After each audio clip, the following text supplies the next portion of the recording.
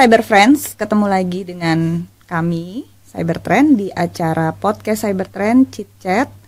Uh, dan kali ini sepertinya agak berbeda dengan episode sebelumnya karena sangat sangat-sangat spesial dalam rangka memperingati Hari Ulang Tahun Jakarta. Tanggal 22 Juni kemarin itu Jakarta berumur genap berumur 495 tahun di mana e, seperti kita ketahui bahwa ibu kota Jakarta itu merupakan kota idaman untuk semua orang. Kenapa saya bilang idaman? Karena sepertinya hampir semua orang itu e, memiliki tujuan ke Jakarta untuk mewujudkan impiannya. Nah, dalam rangka itu juga e, hari ini saya kedatangan tamu yang sangat spesial. Personally untuk saya juga sangat spesial uh, kita kedatangan tamu yang uh, public figure, seorang wanita yang sangat-sangat luar biasa dan saya yakin Cyber Friends juga uh, udah penasaran ya kayak apa sih uh, sosok dan profil bintang tamu kita. Uh, selamat datang kepada Ibu Profesor Dr. Silviana Murni uh, SH MSI. Kepanjangan. Kepanjangan ya Bu ya. Cukup Mpok Silvi aja. Oke. Okay. Dan saya yakin uh, nama nama topnya itu untuk rakyat Indonesia adalah Pok Silvi. Betul. Apalagi untuk di Jakarta ya Pok Silvi yes. ya. Pilkada rasa pilpres. Luar biasa. Uh, mungkin kalau kita flashback lagi berapa tahun ya Pok Silvi ya, ya itu pilkada yang luar biasa yang Kayaknya waktu pilpres nggak segitu hebohnya ya. Mungkin karena perempuan baru pertama kali ya, ya di pilkada betul. DKI Jakarta. Betul, gitu. Kalau di tempat lain mungkin sudah ya, hmm. tapi DKI Jakarta baru pertama dan birokrat pula gitu ya. ya. Betul. Bukan politisi. Ya. Setuju. Nah, bicara tentang wanita tadi Pak Silvi udah ngomong uh, mengangkat uh, wanita Kayaknya uh, kalau saya nggak salah tangkap, Pok Silvi ini satu-satunya wali kota ya yang pernah menjabat wali kota di Jakarta wanita, satu-satunya wanita. Alhamdulillah, betul. Jadi 2008 saya ini diangkat oleh Pak Fauzi Bowo yang sebelumnya ikut fit and proper test uh, lewat Pak Gubernur uh, Sutioso. Jadi Bang Yos itu Ya jujur saya mengikuti tujuh gubernur nih, tujuh gubernur. Saya 31 tahun di Pemprov DKI. Saya diminta untuk ikut fit and proper test karena kalau di Jakarta itu kan bukan pemilihan, ya, ya. tapi itu adalah jabatan karier. Okay. Jadi eselon 2. Ya. Sementara saya juga sudah eselon 2 sejak tahun 97 98, tapi harus ikut lagi terus sampai saya jadi kepala dinas pendidikan DKI, sebelumnya kepala dinas kependudukan dan catatan sipil, dua unit besar dari kantor catatan sipil sama kepala dinas kependudukan dijadikan satu, saya diangkat kepala dinasnya. Nah, ini menurut saya sebuah tantangan, tantangan yang luar biasa.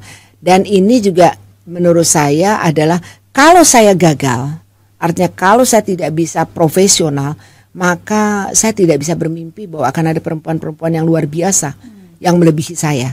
Karena itu saya harus menunjukkan bahwa perempuan kalau dikasih amanah ya harus istiqomah. Ya. Perempuan itu kalau dikasih eh, jabatan ya jangan pernah mikirin begini. Aduh saya kan harus pulang ke rumah seharusnya. Jadi how to manage your time itu penting sekali sebagai perempuan. Oke okay, nah itu highlight how to manage your time. Itu itu uh, kayaknya uh, Tita capture itu sesuatu yang memang harus semua semua orang harus memegang komitmen itu ya. Betul sekali. ya betul. disiplin. Disiplin, disiplin. Nah, uh, selama 30 tahun menjalani 30 Kurang tahun lebih ya. 31 tahun ya, Pak Silvi ya. Wow, luar biasa. Mungkin uh, itu sebagai birokrat, tapi ada satu hal mungkin kalau anak sekarang uh, mungkin kita sebutnya milenial atau Gen Z uh, yang ada satu kelewat Pak Silvi ini dulu pernah loh jadi noni Jakarta ya Pak Silvi ya. Oh, iya, jangan-jangan uh, uh, Pok Tita atau Mbak Tita ini belum hadir ya. Udah lahir kan ya? Alhamdulillah baru lahir loh Pak Silvi saya tahun segitu. Tahun 81. tahun 81. Iya betul, betul. Dan tuh honest ya uh, saya uh, in person gitu ya. Saya melihat sosok atau figur Pok Silvi ini uh, adalah figur yang uh, salah satu role model saya lah. Karena apa? Satu seorang wanita, uh, dua buat saya beliau itu smart, cerdas dan pintar gitu ya. Jadi orang berbicara dengan positif itu nggak ada bosennya gitu loh.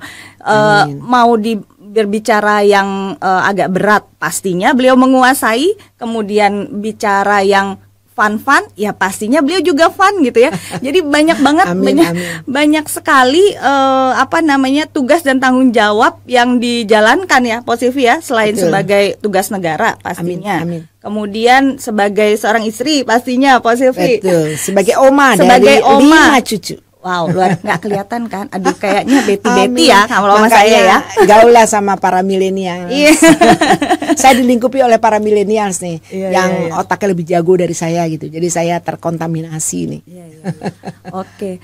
Oke, uh, mungkin boleh sedikit cerita Pak Sivi. Kalau sekarang kan Pak Sivi uh, uh, bertugas sebagai DPD ya, Pak ya. Dewan Perwakilan Dewan Daerah Republik Indonesia. Oke, uh, boleh tahu nggak saya sebenarnya juga penasaran gitu kalau DPD itu sebenarnya tugas utamanya apa sih Posilvi? Nah, Oke, okay, ini yang kadang-kadang orang taunya cuma DPR RI, Dewan Perwakilan Rakyat hmm. Republik Indonesia. Sebenarnya kita ini bicameral ya. Jadi ada dua lembaga tinggi di dalam satu dulu masih lembaga tertinggi sekarang udah lembaga tinggi MPR. MPR itu ada dua Trisi, satu DPR RI, dua DPD RI. Bedanya kalau kita independence Artinya kita ini tak berpartai. Okay. Dan kita adalah perwakilan dari daerah. Dulu mungkin dikenal dengan utusan daerah. Oh, nah, okay. tapi kalau utusan daerah kan dulu dipilih oleh daerah, hmm. kemudian tidak melalui pemilu. Hmm. Nah, e, karena itulah kurang lebih sekitar 7, 18 tahun yang lalu, nah itu mulai mengikuti e, seperti DPR RI dipilih. Bedanya kalau kita tidak membawa partai, kemudian kita secara individu melamar tidak boleh terkait dengan partai. Nah, kemudian kita terpilih suara terbanyak dari satu provinsi dan dipilihnya empat. Jadi seluruh kalau 34 provinsi itu ada 136 orang yang terpilih karena suaranya terbesar di provinsi itu. Bayangkan kalau DPR itu misalnya hanya satu dapil, dapilnya misalnya Jakarta Timur ya Jakarta Timur saja, Jakarta Pusat Selatan e, luar negeri, kemudian Jakarta Utara dan Barat ada tiga dapil. Tapi kalau untuk DPD ini sedekai dia harus terpilih menjadi yang terbesar. Empat terbesar baru bisa terpilih. Dan biasanya mereka yang terpilih menjadi DPD adalah mereka yang mantan atau menguasai wilayah dia sudah menguasai wilayahnya. Ya menurut saya kan kita ada empat orang ya, dua incumbent, dua pendatang baru. Yang pendatang baru Profesor Jimli Asidiki dengan saya. Nah kemudian yang dua ini adalah incumbent. Kita siapa sih yang nggak kenal Pak Sabam Sirait. Nah kalau garisnya kan garisnya PDIP. Jadi bagaimanapun background atau orang akan berpikir secara uh, latar belakang bahwa dia adalah PDIP gitu ya. Tapi sudah dikenal dan politisi yang handal gitu ya. Kemudian yang kedua adalah anaknya Pak Fahmi Idris, Pak Fah, Ibu Fahira Idris. Nah, ini incumbent dua. Nah, kemudian kami masuk berdua. Jadi memang kalau menurut saya kalau di Jakarta ya, ini betul-betul luar biasa untuk meraih itu saya bersyukur sekali karena saya mantan-mantan, artinya mantan kepala dinas yang sudah saya sudah mengenal grassroots. Nah kemudian yang kedua ya ditambah lagi saya pernah ikut pilkada rasa pilpres di DKI itu, yaitu ketika saya harus bersanding dengan seorang yang menurut saya ya berondong gitu ganteng, pinter, yaitu ya Agus Harimurti Yudhoyono. Itu bagaimanapun saya tidak pungkiri saya harus memberi apresiasi dengan beliau karena boleh dibilang kalau 24 jam satu hari itu saya punya 22 agenda. Hmm. Jadi saya harus betul-betul masuk ke grassroots dan betul-betul pilkada ini benar-benar uh, membuat saya mungkin ya boleh dikatakan dikenalnya bukan hanya di Jakarta tapi di Indonesia. Ya. Dan ini menjadi satu amanah buat saya, saya harus betul-betul mewakili masyarakat Jakarta untuk berjuang di tingkat pusat begitu. Okay. Nah, itulah yang saya kira uh, eh, DPD apa sih tugas DPD ada tiga yang pertama masalah legislasi, masalah pengawasan dan masalah anggaran. Jadi kita sebenarnya perannya sama. Cuman memang kita tidak punya hak budgeting. Ya, ya. Nah, itu yang mungkin membuat orang lebih suka lari ke DPR karena punya hak budgeting. Artinya bisa menentukan kementerian-kementerian dengan anggaran-anggaran khusus. Kalau kita tidak mengawasi anggaran itu. Nah, kemudian kita juga membawa aspirasi masyarakat daerah ke tingkat pusat. Hmm. Jadi kalau menurut saya ini tidak lagi tidak lagi boleh berpikir bahwa ah mendingan di DPR karena lebih ngetop gitu ya. Menurut saya ya bagaimana kita melakukan tugas kita betul-betul amanah. Apa sih yang dipesankan? Termasuk kalau DPR misalnya apa yang menjadi garisnya partai silakan perjuangkan. Toh untuk kepentingan masyarakat. Nah kalau saya siap apa sih aspirasi masyarakat daerah di DKI Jakarta khususnya? Nah itu adalah bagian dari amanah yang harus saya perjuangkan. Nah kira-kira seperti ini. Semuanya menurut saya posisi sama aja. Luar biasa ya, ya uh, Pak Silvi ya. Tadi uh, ada uh, statement yang positif bilang adalah untuk menjadi uh, di DPD itu adalah sebaiknya orang-orang yang memang menguasai wilayah. Ya. ya. Nah, kalau kita uh, untuk kali ini kita mengusung tema memang Jakarta di mata data. Ya. Nah, menurut saya mungkin menguasai wilayah itu bukan seperti uh, apa namanya quote preman-preman wilayah kali ya, yes, tapi tapi lebih uh, menguasai wilayah dari semua aspek. Mungkin kalau kita bisa angkat ipolexosbutnya ya, ya uh, uh, Po Silvi ya. Jadi semua data-data itu juga harus dianalisa uh, lebih jauh, terutama terkait dengan uh, kependudukan yang ada di Jakarta. Nah, oke, okay, uh, eh, Cyber Friends, uh, untuk uh, pada hari ini kita akan mulai ke pertanyaan-pertanyaan nih ya, Po Silvi ya. Yang menyangkut data. Yang menyangkut data pastinya. Iya, iya. Karena kan memang uh, kita berusaha untuk memberikan edukasi juga selama ini, Po Silvi. Jadi Cybertrend juga memberikan edukasi kepada masyarakat betapa pentingnya data, betapa pentingnya kita berbicara fakta dengan dukungan data yang tepat, ya. gitu ya. Nah, pastinya kalau memang kita berbicara ke area pemerintahan birokrasi hmm. itu merupakan uh, apa namanya poin yang sangat krusial ya Pak Silvia ya. karena nggak mungkin uh, pemerintahan menerbitkan apa namanya uh, apa pun tanpa data yang ya, peraturan hmm. hanya berdasarkan uh, halusinasi gitu istilahnya ya. atau kan intuisi-intuisi gitu kan ya oke okay. asbun asbun benar oke okay. uh, kalau uh, mungkin positif uh, saya uh, pasti kan sebagai uh, uh, praktisi atau yang memang sudah uh, sekian lama lah gitu ya uh, berkecimpung di dunia birokrasi apalagi di DKI Jakarta uh, sering mendengar kita semua sering mendengar open Jakarta Open Data uh, Pak Silvi. Jadi menurut Pak Silvi nih uh, bagaimana pemanfaatan uh, data saat ini di Jakarta yang uh, kita ketahui saat ini kan memang dari tahun 2014 itu Pemprov DKI sudah mulai um, apa namanya menggaung-gaungkan Jakarta Open Data. Yes. Nah, gimana menurut Pak Silvi? Pertama saya harus beri apresiasi dulu kepada Cybertrans karena uh, jujur uh, saya ngulik gitu ya. Ternyata Cybertrans ini luar biasa. Uh, dia adalah the only one gold partner in Indonesia. Tahun berapa itu? Tahun itu 2000, kita dari 2014. 2014. Ya. Artinya apa? The only one gold. Nah, bayangin ini benar-benar the only one gold partner itu nggak main-main. Kalau dia tidak menyajikan satu data-data yang valid itu menurut saya hal yang hil yang mustahil gitu ya. Terus yang kedua, dia empat kali menjadi consecutive Tableau Annual Awards. Bayangkan, ini kan luar biasa. Artinya apa? Tableau Best Partner in Southeast Asia Awards. Tidak main-main itu, tidak main-main. Nah, kemudian ada 17th, artinya ada 17 industries proven track records dari trends, cyber trend.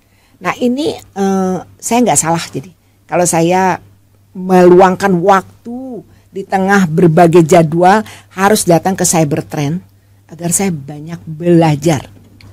Kalau kita lihat Jakarta ya, Jakarta ini memakai open data sejak tahun 2014. Inisiatif dari open data itu sendiri emang mendapat sambutan dari berbagai pihak.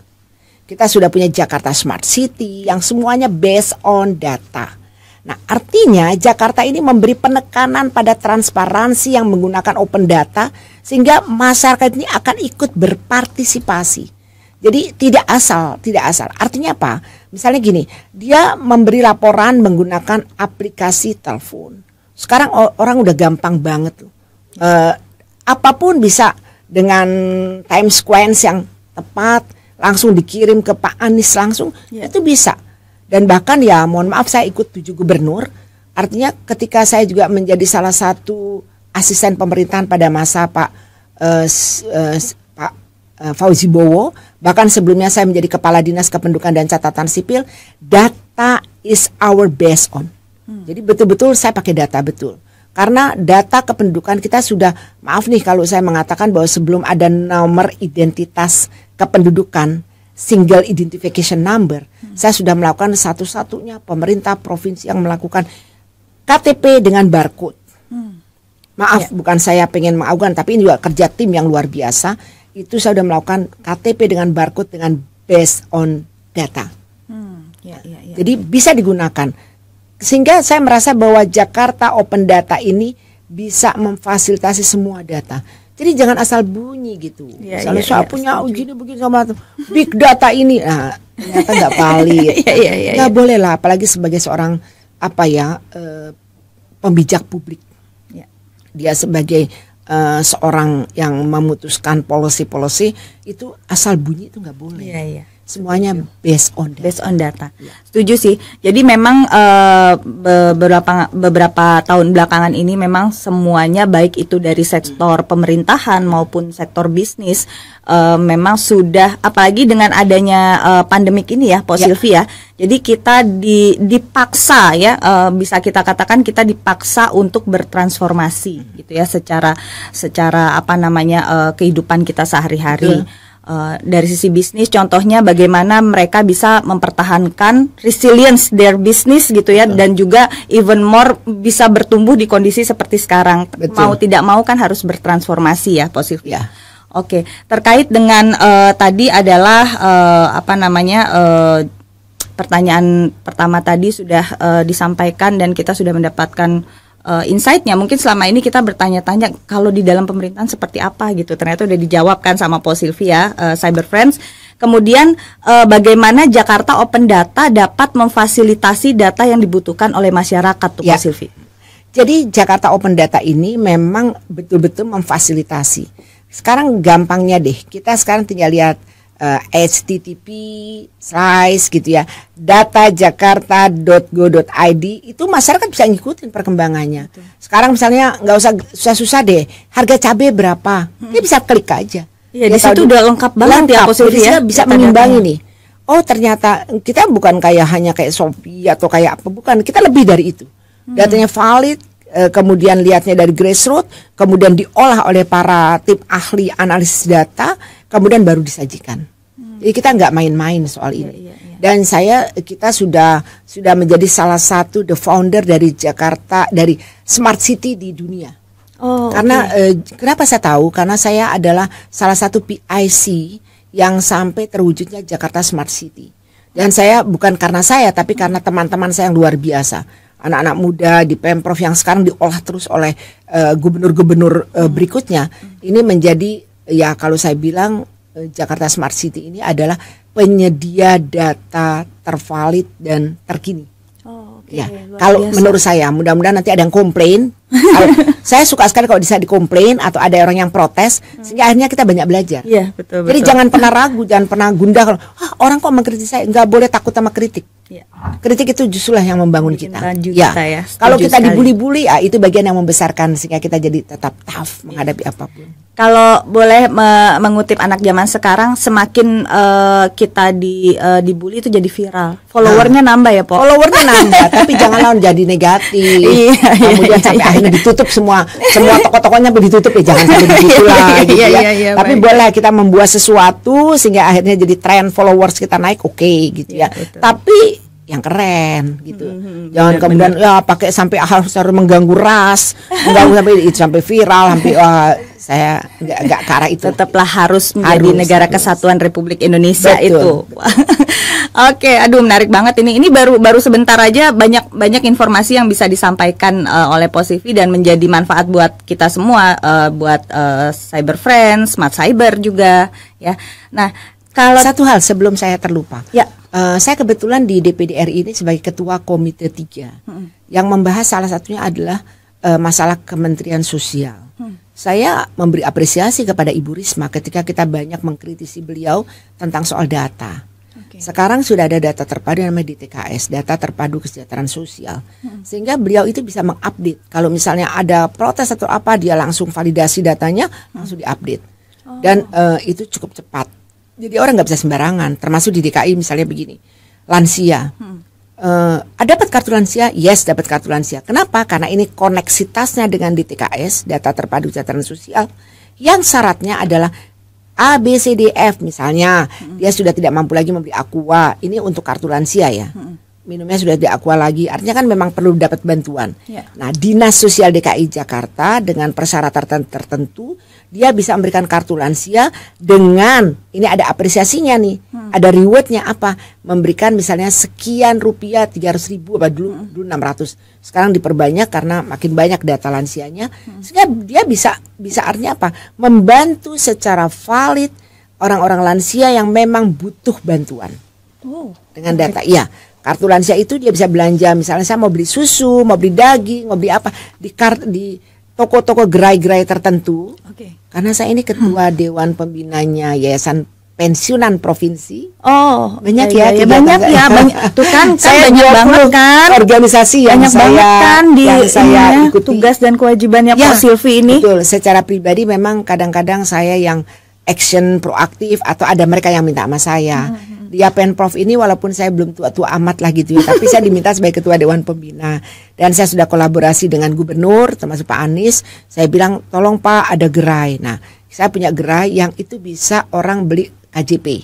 Oh, ya iya. melalui iya, gerai itu kerjasama saya juga dengan uh, pasar pasar Jaya, kerjasama juga dengan berbagai BUMD di DKI Jakarta termasuk lansia.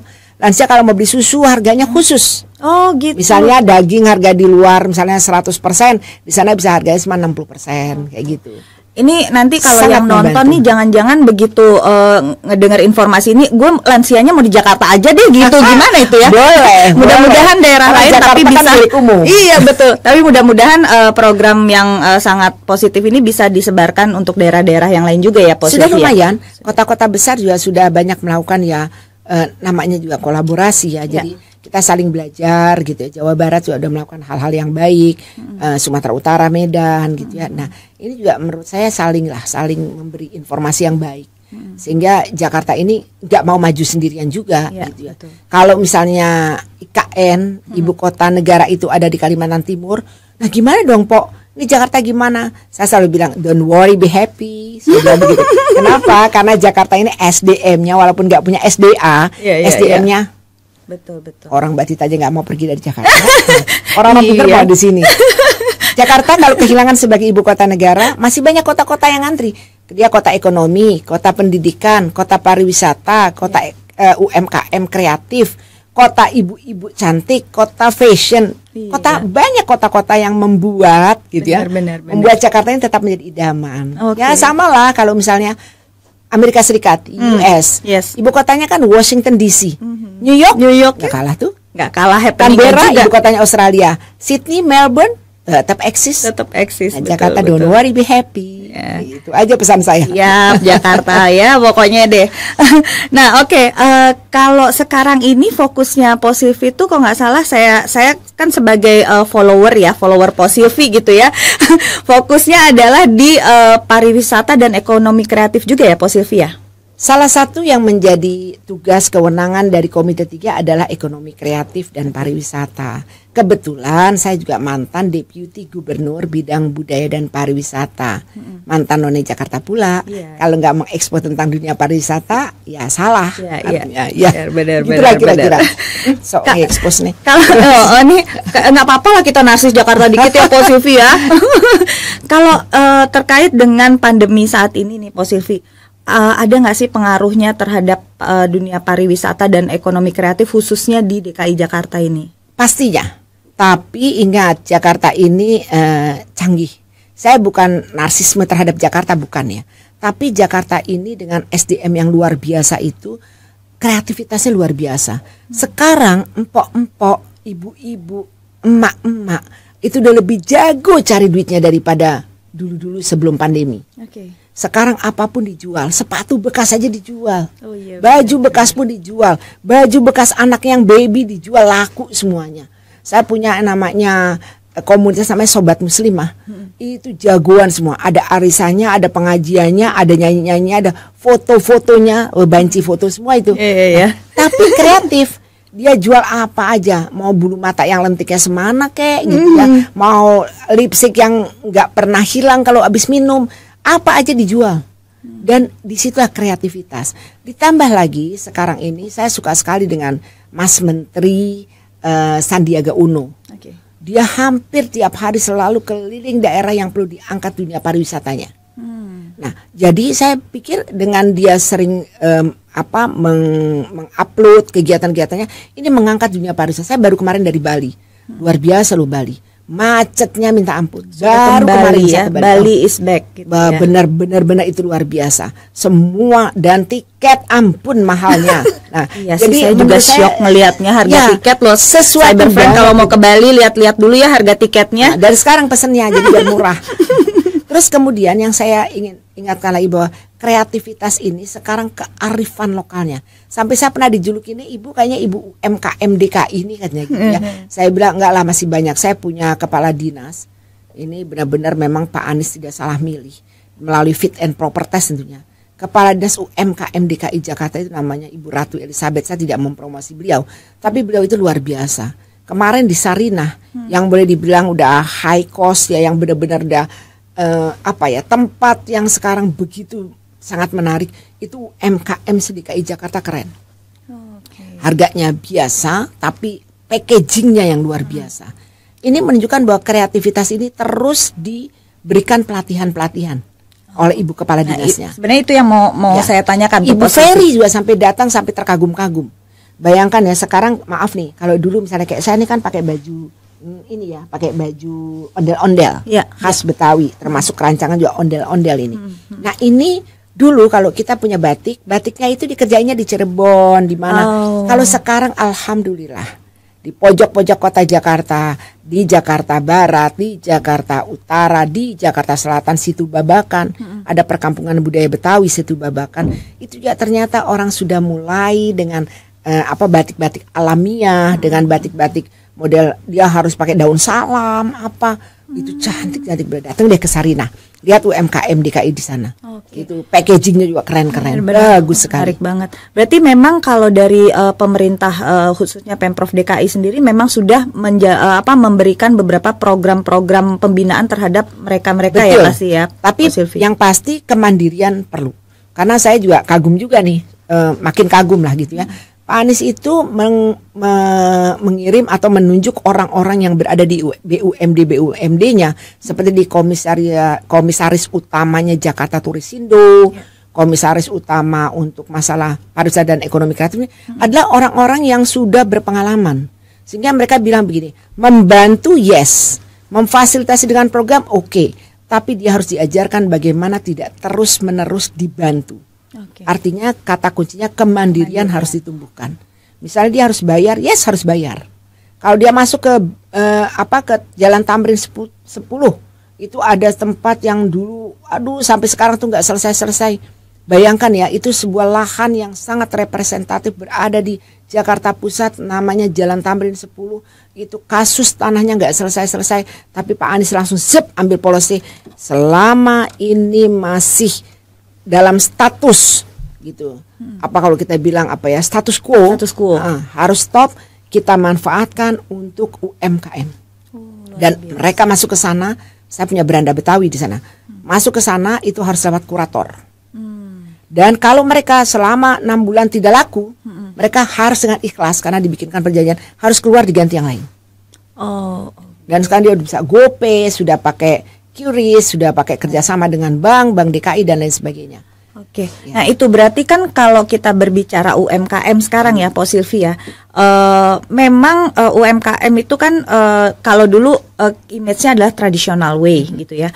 Tapi kalau saya melihat di sini sekarang bagaimana uh, pemerintah itu menggalakkan program UMKM biar mereka bisa uh, elevate uh, UMKM itu dengan cara uh, tadi uh, kita harus bertransformasi gitu ya bagaimana mereka melakukan penjualannya kalau misalnya nggak laku secara offline gitu bisa mereka online. join online Betul. apa segala macam nah mungkin pelatihan pelatihan itu yang memang harus di, di dilakukan di explore di disosialisasi dan betul. itulah sebabnya hajatan Jakarta ke 495 ini mengambil tema Jakarta kota kolaborasi, kota akselerasi dan kota elevasi. Hmm, ya. Jadi semua nyambung. Dia harus berkolaborasi. Ya, ya. Nggak bisa lo nyelesain Jakarta yang banjir terus menerus ini tanpa kolaborasi dengan the hinterland. Iya, iya. Dan itu bukan tanggung jawab Jakarta saja. 13 sungai mengalir ke Jakarta. Iya. Kalau kita nggak kerjasama dengan daerah-daerah hinterland kita, Jawa Barat dan lain sebagainya, nothing. Jadi itu harus kolaborasi. Akselerasi harus ada percepatan karena itu pelatihan-pelatihan. Elevated. Ya. Nah itu perlu diisi dengan para profesional muda Iya. yang luar biasa. Itu mengajari sekaligus praktek. Iya. Jangan cuma diajar dikasih ilmu tapi tak praktek sama juga bohong. Makanya saya bilang UMKM sekarang ini cukup modern. Ya. Emak-emak itu dia jualan dengan offline nggak laku langsung di share, langsung laku habis. Ya, Coba ya. bayangin. Sekarang mama sangat mandiri nih. Benar, benar, benar. yang mandiri. Tinggal bapak-bapaknya asik juga nih di kantor gitu kan. Lumayan ada yang bantuin kata bapak-bapaknya ya. Tujuannya kan kesejahteraan iya keluarga, betul betul gitu. betul. Nah, Nah, tuh kota-kota aja DKI Jakarta aja melakukan kolaborasi. Nah, menurut saya ini apalagi kita melakukan bisnis saat ini tanpa kolaborasi nothing. Nah, itu itu pesan dari Po Silvi loh sebagai Ya. seorang birokrat, akademisi juga loh beliau. Jadi kalau menyelesaikan persoalan itu harus paripurna, ya. harus holistik. Jadi dari hulu sampai hilir. Ya, ya. Jangan menyelesaikan persoalan cuma di hilir. Oh harga minyak kenapa ya mahal gitu ya. Mm-hmm. Oh ya wajar dong kalau nggak nggak bisa bangun infrastruktur. Oh, Ya, bisa begitu. kok bisa gitu ya. begitu? Ah, kok bisa begitu gitu. Ya harus mahal dong karena kalau nggak mahal gimana ya maklum ya masa ada kata maklum nggak boleh dong. Artinya harus ada kreativitas kreativitas bagaimana mereka ada alternatif. Bu jangan dong pakai minyak kan itu ya kolesterol jadi tinggi. Jangan dong makan gula, bukan gitu. Wah kok gak boleh makan gula ya? Ya di samping berbenah soal market, berbenah soal bagaimana ini kok ada masih ada kutu-kutu di birokrat gitu ya. Tapi kita mengajarkan juga masyarakat. Kalau makan nasi, ingat loh, ini banyak gulanya, misalnya seperti. Terus kemudian ada apa? Ada namanya porang, Iya. gitu kan. Terus ada apa umbi-umbian segala macam. Karena saya ketua perhimpunan agronomi Indonesia DKI. Itu kan again loh cyber friends Jadi- luar biasa ya. jadi saya malu harus- loh anak zaman sekarang padahal tugas saya nggak seujung kukunya Po Silvi loh luar Ya, biasa Ini loh. kan udah apa ya berdasarkan pengalaman ya, Ya, pengalaman ya, ya. kan makin umur ya. Kan Mbak Tita cantik ini kan umurnya jauh lah separuh aja nggak ada kan dari saya. Iya. Nah, artinya itu kan eh, apa ya kita harus belajar learning by doing Ya, gitu ya, learning by experience. Experience itu nggak bisa dibeli. Iya. Ya, karena itu manfaatkan kesempatan ini sebaik-baiknya. Iya, iya, Harus manfaatkan sedetik apa pun waktumu kau manfaatkan. betul. Ya, Setuju jangan sekali. enjoy, jangan asik nonton Netflix aja gitu. Boleh, bukan berarti nggak boleh, boleh. Tapi begitu keluar taunya semuanya udah berubah Karena karena kita berubah. kasihkan Nah, stay di satu iya. zona Nah, itu tersebut boleh. ya. Saya masih tetap kok nonton apa Liam Neeson-nya dengan memori, nonton di bioskop. Iya, iya, masih iya. nonton gitu ya, masih ngeliat kalau umpamanya film udah kelewatan saya nonton di Netflix. Eh, misalnya Jason Statham saya masih Mm-hmm. Iya. nonton gitu ya. Nonton film-film yang lagi tren sekarang seperti Iya. Keluarga Cemara juga saya tonton gitu ya. nah, Pasti, artinya pasti. tetap kita nggak boleh kehilangan tren. Iya, betul. Harus Terutama mengikuti ya. Nah, Iya. terutama data. Exactly. Data itu Betul. tren baru memang. Tapi kita tetap harus berada di dunia nyata. ya, setuju. Jangan kita asyik dengan bermain data, asik kita dengan ikut tren, tapi kita lupa nih dunia Eksekusinya. Nah, terus eksekusinya yang penting benar, benar Betul. itu Mbak Dita. Betul. Kita harus execute semuanya. Setuju. Karena kita bukan hanya mimpi dengan policy-policy. Ya. Aduh, kalau di Indonesia ini terkenal dengan policy yang very ideal. Benar-benar, tapi ketika implementasi termasuk legislasi, Heeh. semua aturan-aturan bergeraknya seperti deret hitung.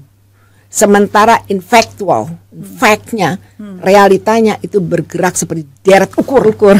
Bagaimana kita bisa Nggak bisa mengimbangi up. ini? Iya. Dan para, terutama saya lagi ngomong sama diri saya sendiri, para pembuat kebijakan berpikirnya harus futuris. Ya, ya, ya. apa nih akan terjadi kemudian? Fenomena apa yang akan terjadi? Jadi bikin aturan jangan baru 11 bulan kemudian sudah masuk ke MK dan harus di stop dulu. Jangan sampai begitu gitu ya. Minta kepada DPD untuk minta analitis tapi tidak dikasih cuma minta stempel dan tanda tangan nama nomor surat. Ya, jangan dong gitu ya. Harus dibaca itu. Iya, gitu. iya, kan ini kan sesuai aturan kita bikameral gitu ya harus dibaca lah gitu ya. Ya. Apa usulan dari kita? Saya serius loh. Kalau saya diminta untuk um, meng- apa namanya menganalisis sesuatu di- dari DPD dari kamar sebelah minta, saya minta. Ternyata buru diketok, padahal waktunya belum. Ah, itu karena politis momentum. Oke, tapi lain kali ingatkan dong, kita kan part of Iya. Kita juga punya tanggung jawab moral soal itu. Iya, iya, setuju sekali. Ini bukan uh, curcol, bukan. Curcol juga nggak apa-apa. Oke, Aduh menarik banget Eh, asli nggak nggak berasa kalau bicara sama Posivi. Nah balik lagi ke kota Jakarta tercinta kita nih Posivi. Ya. Kalau eh, ini kan kita mudah-mudahan ya sudah mengarah ke endemik ya mudah-mudahan ya, Posivi ya. Jadi eh, kita juga sudah mulai bisa bertemu kangen yang tadinya hanya via screen saja gitu ya. betul. Sekarang sudah mulai bisa ketemu fisik. Eh, kalau di pariwisata di Jakarta ada nggak sih Posivi pariwisata tempat pariwisata yang terbaru sekarang? Eh, menurut saya ya, sesuatu yang bukan tadinya untuk pariwisata juga bisa jadi pariwisata. Contohnya, Contohnya? Formula E. Oh, ya. Itu kan sport. Sekarang udah menjadi eh, sport tourism. Iya, iya, iya, iya. Terus apalagi habis Formula E kita nonton JIS Jakarta International Stadium. Oke, Nah, itu iya. yang tempatnya benar-benar multi purpose. Mhm. Ya. Itu sekarang menjadi menjadi dunia pariwisata. Orang datang ke sana foto-foto, selfie-selfie, ngeliat ke sana kemari, bikin TikTok segala macam. Iya, iya. Itu salah satunya. Tapi kalau mau lebih jauh lagi, memang pariwisataan sih, pa- pariwisata beneran dengan kreativitasnya anak-anak muda, Kepulauan Seribu part of Jakarta. Saya ingin menekan sekali part of Jakarta adalah Kepulauan Seribu. Karena kita punya lima kota, barat, timur, utara, selatan, pusat, juga ada Kepulauan Seribu, Kabupaten Kepulauan Seribu. Itu luar biasa. Pernah nggak ke Onrus dengan pulau eh, ada pulau apa namanya satu kota yang kita tempat foto-foto itu Pulau Kelor Pulau itu Kelor, keren oke, banget oke. tempatnya ada benteng di sana yang kita bisa foto-foto Hmm. itu bagus sekali karena saya termasuk muridnya Darus Triadi loh Uh, jadi saya wow. belajar cara foto gitu ya. Saya kebetulan punya tim juga namanya Opan itu yang suka ngajarin saya dan kita sama-sama sekelas gitu ya. Hmm. Karena kalau saya ngantuk dia yang belajar gitu. Saya nanya gitu kan. Nah itu saya suka keliling tuh kelayaban saya langsung apa namanya kalau kita bilang tuh hunting, foto. Nah ke mana-mana itu kalau hunting lagi ke Pulau Seribu. Ada Pulau Cipir, ada Pulau Payung, ada Pulau Bidadari, ada pulau-pulau 113 pulau loh. Di Wow, Jakarta. Iya, banyak dan ya, dekat. 113. dan sekarang fasilitas eh, transportasi juga relatif murah. Bisa di Tapi dua eh, tempat. eh, transportasi dari antar pulau itu sudah sudah memang sudah juga. terakomodir. sudah juga. Macam-macam. Ada predatornya ada segala macam. Itu alhamdulillah loh. Kita lagi Hmm. naikkan terus tren bagaimana pariwisata naik terus. Apalagi setelah pandemi. Dan satu-satunya di ibu kota negara ini yang relatif minus untuk pandeminya ya Pulau Seribu. Hmm, ya mungkin karena udaranya bersih Betul, bagus. betul. Apalagi kalau makan sukun. Tahu kan sukun tuh keripik sukunnya Nah, sekarang aduh. pada tahu nggak nih suku nih kira-kira nih? Nggak tahu ya ada keripik sukunnya kalau kita mau makan kalau kita nih lagi diet gitu ya nggak pengen makan nasi di, dikukus saja itu sukun uh enak ya ampun. Apalagi kalau itu kita jadi ngomongin makanan ya padahal positif lagi puasa ini. Sukun itu kalau udah mateng di pohon kan agak itu dikukus jadi manis Aduh, banget ya. sudah manis sudah gitu kita jadi eh, pengganti nasi Nasi, betul. Nah, itu. Karbohidrat ada ah. alternatif. Jadi kalau eh, cyber friend eh, belum makan nasi tapi udah makan sukun itu bukan berarti ya, bukan berarti kalian belum makan karbohidrat. Itu karbohidratnya tinggi. betul betul jadi Pulau Seribu kembali lagi ini adalah sebuah tempat yang menurut saya eh saya bertren so harus ke sana deh Oke. harus ke sana. Mau yang paling dekat cuma 30 menit ada Pulau Untung Jawa. Di sana ada yang namanya spot sakura, jadi Jepang. Nggak usah ke Jepang jauh-jauh. Cukup 30 menit ke Pulau Untung Jawa. Kita foto-foto di sana. Nah, boleh ada, itu ah, kita, itu kita keren. program keren. Mau eh, jauhan dikit ada jembatan cinta. Waduh, Pulau Panggang. itu Terus jembatan cinta jembatan isinya yang cinta. kayak di Korea-Korea gitu Ya, sih, Pak? ya ada kunci-kunci gitu. Ya itu Oh, oke. on- ongoing lah Ongoing. ya. Ah, tapi ada jembatan cinta. Terus ada segitiga cinta, bukan tapi bukan cinta yang segitiga. Tempatnya itu yang segitiga itu kalau difoto dari jauh keren. Oke. Jangan kalau bilang ada, ada apa namanya eh, eh, jembatan atau segitiga cinta itu langsung layangan putus, jangan begitu ya. Oke, nah ngomong-ngomong Pulau Seribu, eh, saya kan belakangan ini sering juga dengar eh, programnya Pak Anies kalau nggak salah ya tentang tentang Nomad Island gitu ya. Jadi bagaimana pemprov DKI juga mungkin me- me- apa namanya mempersiapkan gitu karena kita tahu sekarang kan mulai dari awal pandemi itu udah ngomong WFH, work from home gitu kan, dan anak-anak sekolah juga daring segala macam. Nah, eh, mungkin sekarang bukan work from home lagi kali ya, work Betul. from everywhere gitu ya, Ya, sekarang betul. ya. from everywhere and from anywhere and who, whoever whoever gitu ya. Wherever Jadi, we can ya, work gitu. Ya, betul. Uh, bukan all you can eat bukan all you can do everything in anywhere gitu ya. Hmm. Nah, jadi memang kalau digital nomad island ini pulau yang eksklusif di mana nih kita ini kan bisa kerja ya, bisa ya. kerja tapi sambil happy-happy. Terus kemudian kita bisa tenang dengan orang-orang yang kita cintai dan memang benar bahwa yang namanya digital nomad island ini sedang diciptakan. Dari 113 eh, apa pulau yang ada di Kepulauan Seribu ini ini benar-benar pertama ya kalau kita lihat DKI mempersiapkan transportasinya. Nah, ini juga rute-rute transportasi yang baru juga disiapkan sehingga pemerintah ini bisa berkolaborasi juga dengan masyarakat. Banyak startup juga yang kita siapkan di sana. Yang kedua konek konektivitas. Oke. Okay. Jadi kita harus memang berhubungan atau terus menerus meningkatkan konektivitas kita, terutama konektivitas internet nih, mm -hmm. yang menjadi program digital nomad island. Yeah. Sehingga nggak ada lagi nam namanya titik-titik, waduh ini jaringan kopus nggak ada. Titik-titik jak wifi yang di pulau-pulau publik dan juga yang mengajak para internet termasuk provider untuk kolaborasi hmm. ini betul-betul memang lagi di, diwujudkan kita concern ke arah sana dan yang ketiga kalau kita eh, sampaikan bahwa akomodasi di mana kita menggandeng warga ya meningkatkan homestay-nya, bagaimana mereka jualan fasilitas homestay yang tersedia makin baik, termasuk yang keempat adalah kebutuhan dasar. Artinya apa? Kebutuhan dasar dalam hal penyediaan listrik. Nah, kemudian menggandeng PLN kita termasuk swasta menyiapkan kebutuhan listrik dengan genset-genset pribadi yang disewa dengan harga yang relatif murah.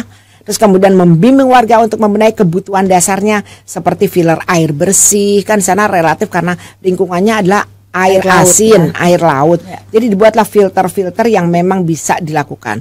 Dan yang terakhir adalah co-working space. Hmm. Artinya Pemprov ini memang menyiapkan fasilitas yang betul-betul bisa digunakan para digital nomad. Untuk apa? Bisa bekerja.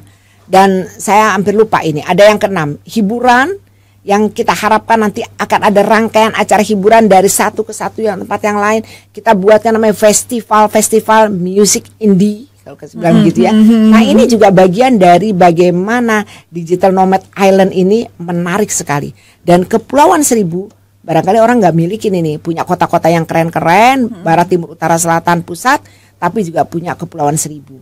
Nah sehingga artinya benar-benar digital nomad island ini bisa lancar dan Jakarta betul-betul akan terwujud menjadi kota digital nomad, nomad. island. Wow, menarik sekali ya uh, Cyber Friends. Jadi mungkin uh, kalau sebelumnya kita berbicara adalah co-working space tadi itu ya. itu masih di Jakarta Jakarta juga. Jakarta juga loh. Ya kan? Nah, boleh dicoba itu nanti mungkin kita uh, apa namanya bekerja work from Nomad Island gitu ya, walk from Pulau Seribu gitu ya. Hmm. Di situ ada co-working space. Ya. Abis kita pusing kerja, kita cari hiburan ya. yang lain juga kita ada. bisa juga diving loh. Oh, bisa wow. diving, kita kita bisa lihat karang-karang, kita bisa lihat apa terumbu karang. Kemudian kita ada di sana ada apa namanya eh, kura-kura besar ya. seperti itu dan eh, nggak uh, kalah lah dengan kota komodo gitu ya. ya, ya nah ya. jadi cuman bedanya kita uh, melihatnya di sana kan terkenal dengan komodo karena nggak bisa ada yang tampilkan. Kalau ya. kita bisa tampilkan yang lain ya, banyak ya, banyak ya. benar gitu yang bisa tampilkan. Termasuk Pulau Payung ya. Di situ ada ada sebuah pantai yang berbeda di sini di sini laut kemudian hmm. di sini di sini pantainya sengaja ditahan gitu dan kita bisa main apa ya main kalau kita kayak longboard tapi ya di laut gitu tuh. Nah ada boat-boat kecil. Banana kita, boat begitu uh, kayak model-model banana, banana boat. boat. Tapi dia juga kita bisa sambil berdiri. Kita oh. pokoknya keren lah dan harganya relatif tidak terlalu mahal. Okay. Artinya masih terjangkau lah. Ya cuman kalau misalnya mau tambahnya berkali-kali naik boat ya jadi mahal lah. Iya iya iya. Ya. Tapi dan kan daripada ikannya, ke luar negeri kan. Betul. Ya, ikannya seger-seger. Hmm. Dan bisa diolah itu dengan masakan-masakan yang luar biasa. Kalau misalnya nggak tahu juga, just call my name and I'll be there. Wes mantap, tuh ya. Jadi, Berarti memang follow, follow, oh tuh Instagram follow saya. Jadi Sylviana Murni underscore. Nah itu aja. Iya, Jadi iya, Insya Allah kita, saya bisa menjelaskan nanti. Hmm. Mau telepon saya, mau lewat WA, mau lewat DM juga silahkan. Ini uh, Positive ini uh, seorang public figure yang uh, contactable ya. Jujur nih saya bicara contactable. Karena apa? Uh, saya uh, follower beliau ini ya melalui uh, Instagramnya saya DM kapan pun saya DM itu beliau begitu ada waktu pasti akan di replay ya, apalagi ada waktu. Iya kan? Begitu ada waktu pasti di replay begitu di replay langsung komplit replaynya dari beliau ini ya kan kita bisa di mana aja tapi jangan lupa sebagai seorang istri saya juga selalu inginnya selalu hadir di samping suami saya saya Artinya. misalnya saya dapat tugas, saya harus ke Washington DC, saya harus ke Paris, ke Belgia, ketemu dengan para senator. Tapi saya pagi-pagi tetap, Pap mau makan apa gitu. Misalnya, ada pengen makan nasi goreng, oke, okay, Emang Ibu Sylvia yang nyiapin? Enggak. Aku langsung telepon anakku. Monik. Papa mau ini ini ini. Kan tinggal. Iya. Kalau delegasi. iya. power of delegasi ya, itu namanya. Betul. Jadi ya the power of love juga harus disediakan. Yes, yes. Karena sehingga akhirnya harmoni itu tetap terjaga. terjaga. Karena bagaimanapun keluarga ini adalah we are the super dream team. Ya.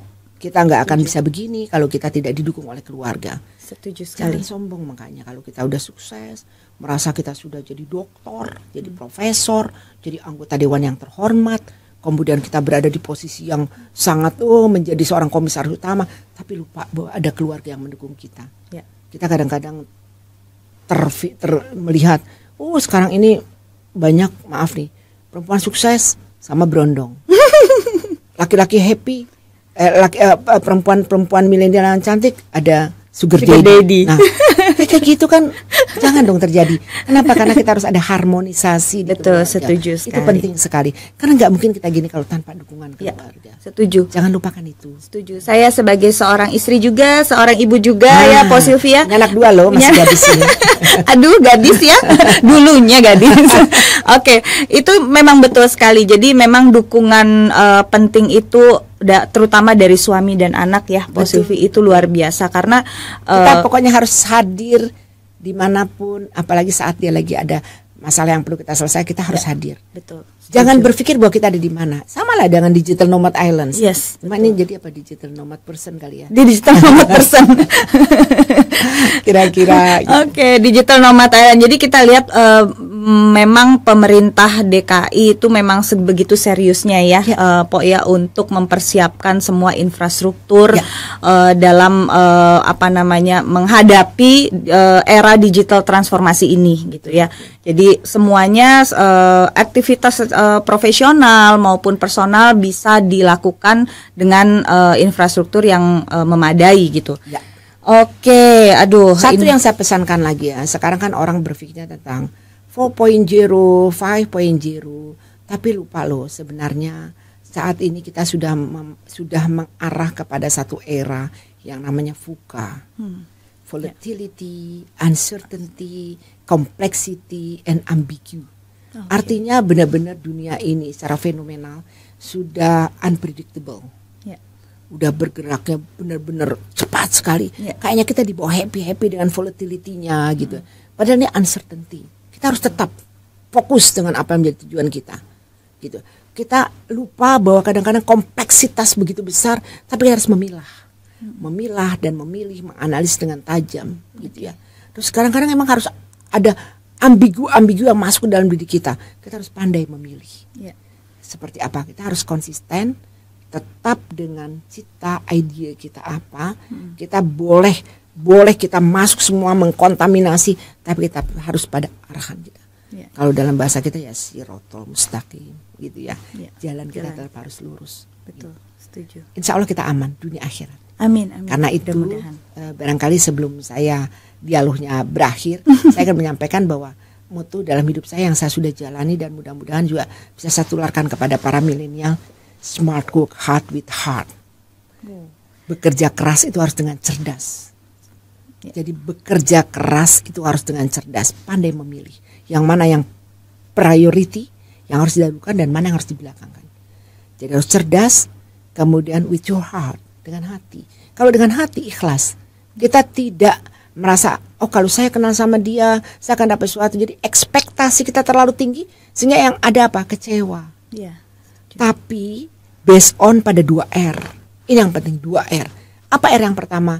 Regulation, regulasi. ikutin aturan mau aturan rumah tangga aturan RT aturan RW sampai aturan pembukaan undang dasar 45 yang keduanya R yang kedua apa religion apa pun agamamu kalau kau yakini kebenarannya ikuti. Pasti diajarkan kebenaran. Betul. nah kalau kita udah ikut apa kata hati kita keimanan kita kita yakini itu insya Allah kita akan selamat di akhirat.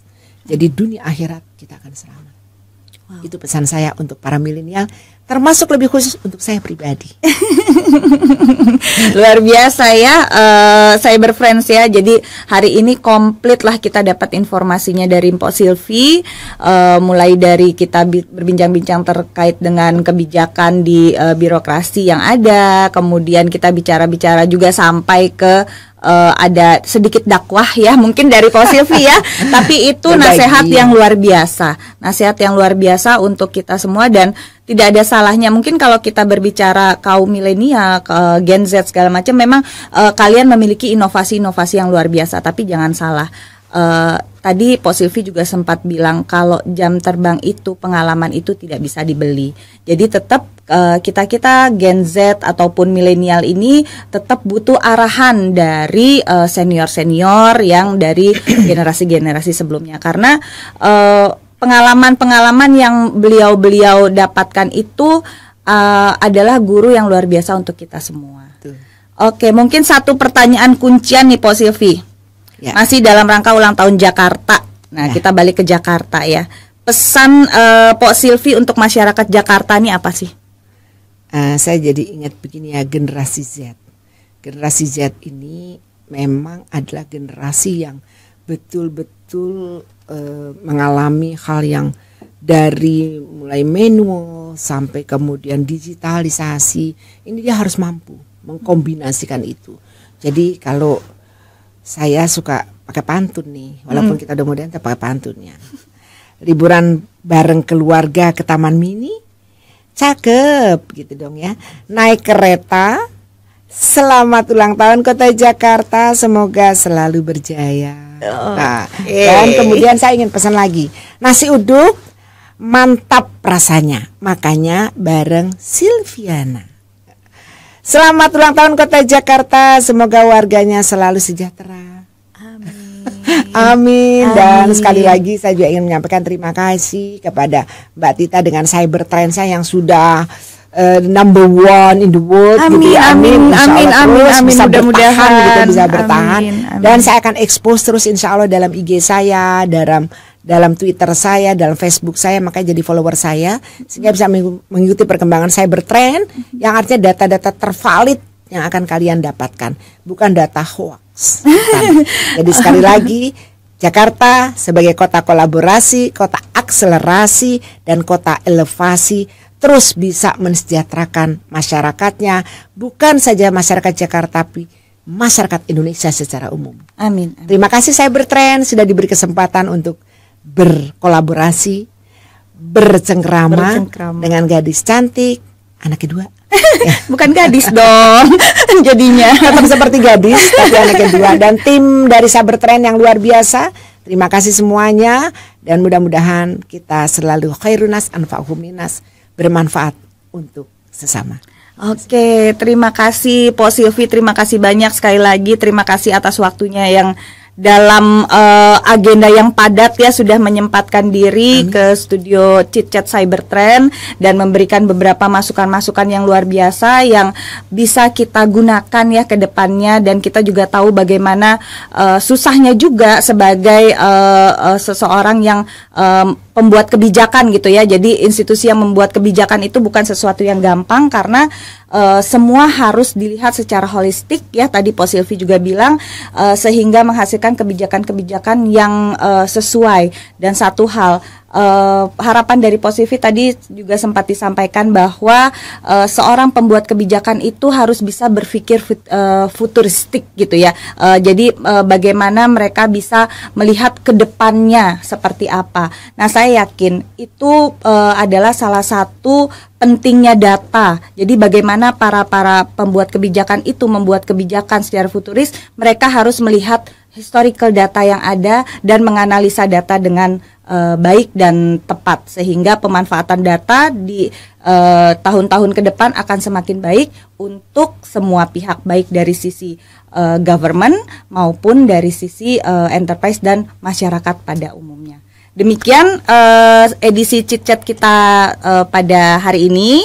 Uh, terima kasih Cyber Friends sampai ketemu lagi di chit chat selanjutnya dan jangan lupa follow semua um, sosial media ya, sosial media Cybertrend. Ada Instagram di Cybertrend Des uh, Intrabuana.